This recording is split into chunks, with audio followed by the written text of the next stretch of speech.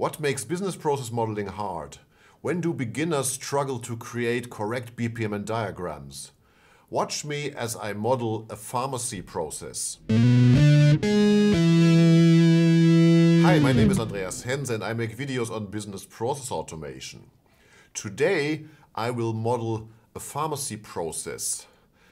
The process description comes from the book Fundamentals of Business Process Management and I have already used this example in several videos where I have evaluated AI solutions for creating BPMN models. So finally today I will present the correct solution and I have pre-recorded it because um, creating and editing uh, takes a lot of time and so I wanted to speed things up a little and so we will go step by step through the process description and then uh, I will show you how I created the business process models for this. Okay, so let's dig right in. Here you can see the process description.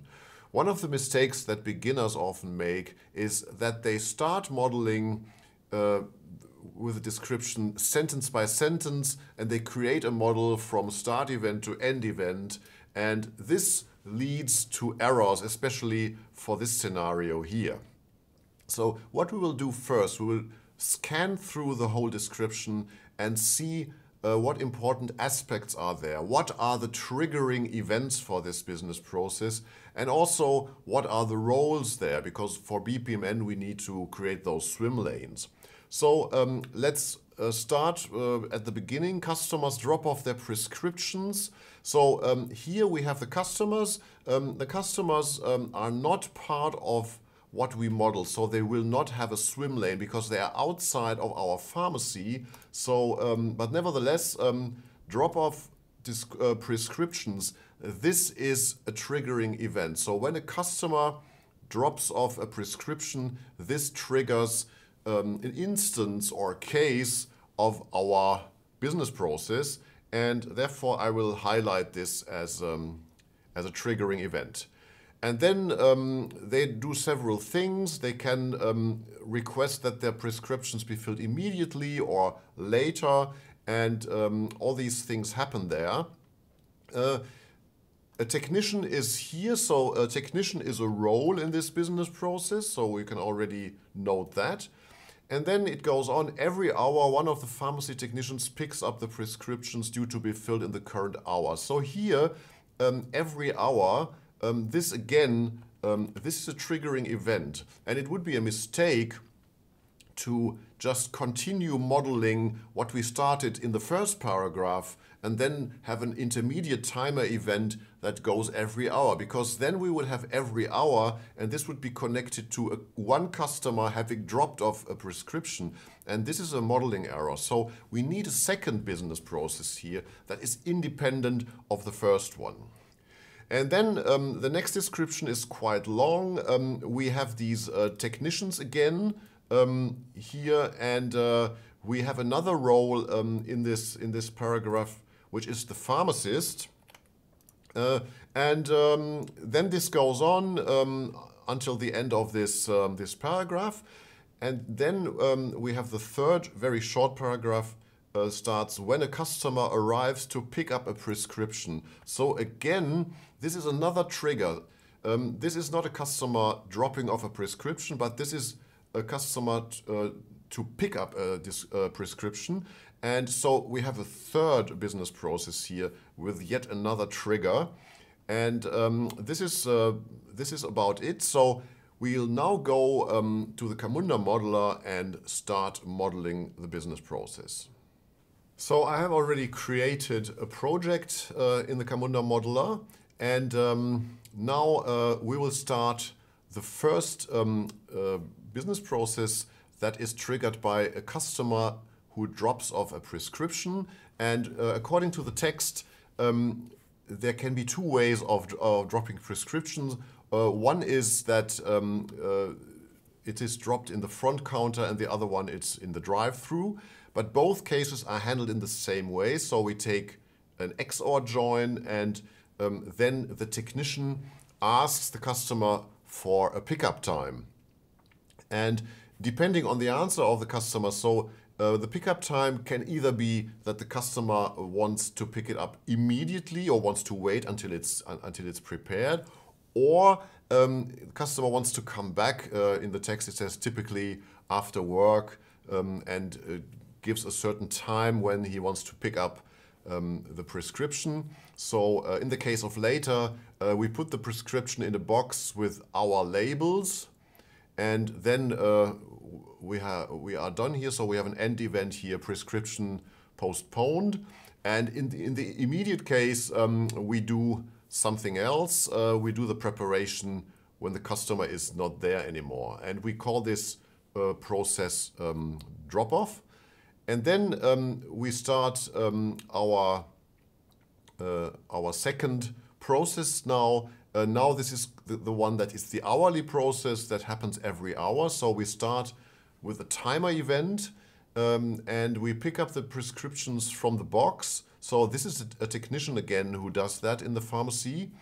And um, if we go to uh, the other, um, we have we have to rename this um, hourly. So we call this process hourly, and um, we uh, just in the drop-off process we do something that is called prepare prescription. So when a prescription is prepared, um, this is something that we also need uh, in this hourly process. But in the hourly process, we prepare many prescriptions, and that is why we use the loop symbol here uh, in the call activity. And then this process is already, um, already finished. Prescriptions are ready for pickup after this activity with the loop. Okay, so that's already the um, hourly uh, process. So now we have factored out the whole, uh, the whole complexity of the th uh, second paragraph.